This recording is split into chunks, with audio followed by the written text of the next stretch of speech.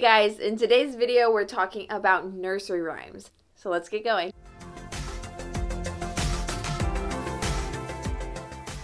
Our first two activity ideas you can do with Old MacDonald. The first one is to print out shapes on a sheet of paper, take farm animals, and let them outline the shapes to start practicing what each of the shapes look like. The second activity is to practice making the letter shapes using these same farm animals. You'll want to have examples of what the letters look like, and then they can make those letters with the animals the best way they can. The next activity is an Itsy Bitsy Spider matching game. For this matching game, I made cards with the pictures from the Itsy Bitsy Spider rhyme. Now, as you can see, mine were a little bit see-through through the paper, so you will want to use thicker paper that you can't see through, but the kids can play a matching game with the symbols of the Itsy Bitsy Spider nursery rhyme. Now I use Canva for all of my worksheets that I make. The next activity is for Hey Diddle Diddle. For this one, you're going to have all the pictures that go with the rhyme. The children are going to listen to you say the rhyme and try and match the pictures up that go together. So as you say the rhyme, hey diddle diddle, the cat and the fiddle, they will find the cat and the fiddle and put them together. And then you'll continue on through the rhyme. You can do this as slowly as you need to to help the children find the matching pieces. All right, so the next is for row, row, row your boat. This is a great activity for counting practice. I took a piece of poster board and created a stream on the poster board. And I also printed out a bunch of little boats. The children will take a die and roll it on the poster board. And then, depending on what number they roll, they will place that many boats on the stream and this can be repeated over and over to practice those counting skills. All right, let's talk about the nursery rhyme Little Bo Peep. The first activity is to take sheep and draw a lot of different shapes on the sheep. You'll hide them around the room, and the children will go and find a shape, bring it back to you, and tell you what that shape is. You can hide as many or as few as you want around the room, and they can do it either together or you can send one child at a time to find a shape, share it with their class, and tell them what the shape is. The second activity for Little Bo Peep is to have a sheet of paper with sticky notes on it. You're going to write letters on those sticky notes, and then you'll hide a small sheep under one of the notes. This is great for letter and or number recognition if you'd rather do numbers the children will have to tell you what letter they want to look under, and you'll show them whether or not they found the sheep that was hiding. All right, this little piggy went to the market. For this activity, you're going to print out four sheets of paper. You'll have a market, a piece of meat or roast beef, a pig, and a house. You're going to hide a little pig under one of these sheets of paper, and the children are going to have to run up turn a piece of paper over and see if they found the pig. If they don't find it, they have to run back home saying wee wee wee all the way home. If they do find it, they win and you get to play the game again. And one bonus activity is to have a Jack and Jill bucket relay.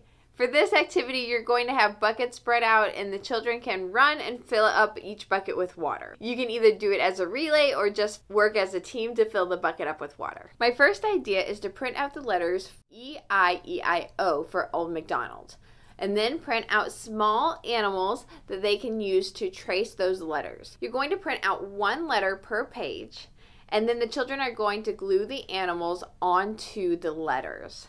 The next art project is for Itsy Bitsy Spider. For this one, you're going to cut the body shape of a spider out of a piece of cardboard and then hole punch where you want the legs to go. Each kid will take their pipe cleaners, thread them through the hole, and make legs on a spider. This is not only great for an art project, but also for fine motor skills.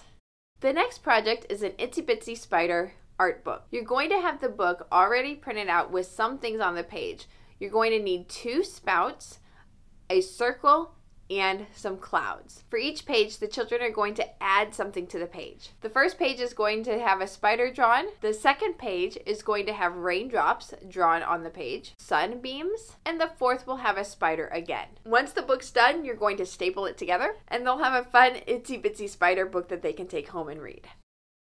The next one is the Hey Diddle Diddle Cow and Moon. Each child will get a paper plate and they will paint a moon onto the plate.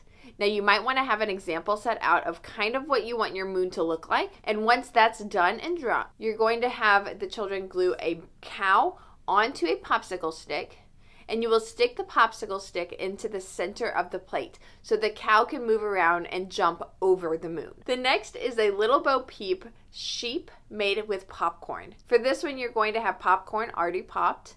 The children can take the popcorn and glue it onto the sheep to give it kind of a fluffy fur look. For the older kids, they can do their own gluing and practice that as well. A fun art project for Jack and Jill is to get little tin buckets and let the kids paint with the bucket. They can either paint just with the bottom or they can paint with the top and bottom to give you different sized circles as well.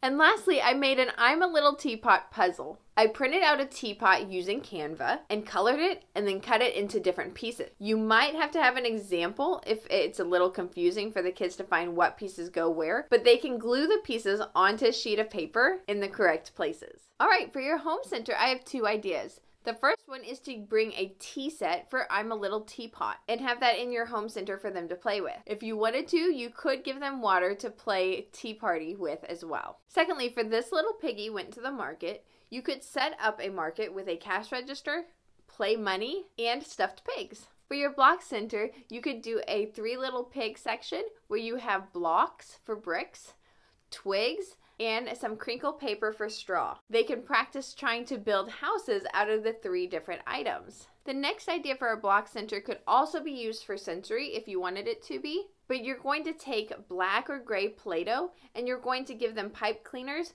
to make spiders with. If you wanted to, you could also add googly eyes to this center idea as well. For your reading center, I have a couple book suggestions that you could put into your reading center. The book suggestions are Barney's favorite Mother Goose rhymes, the Wheels on the Bus by Jane Cabrera, and The Itsy Bitsy Spider by Iza Trapani. And lastly, for your writing center, I have three ideas for you. The first one, for I'm a Little Teapot, is to write the words associated with the teapot. So you're going to want one already finished that the kids can copy from, and then you're going to want one with blank spaces that they can practice writing those words. While they probably cannot read those words, this is just great for fine motor and practicing writing those letters. The next one is a name recognition activity. You're going to have oars for row, row, row your boat, and you're going to write the letters of their name on those oars. Mine were a little dark, so you might want to print them out in like a lighter colored gray or even just have an outline of an oar, you're going to write the letters of their name and they're going to try and put them in order. And lastly is a letter sequencing or number sequencing activity for Jack and Jill. For this, you're going to find a coloring sheet, or I used Canva to create a hill with a well on top. And then I have buckets with letters written on them, and they want to put the letters in the correct order.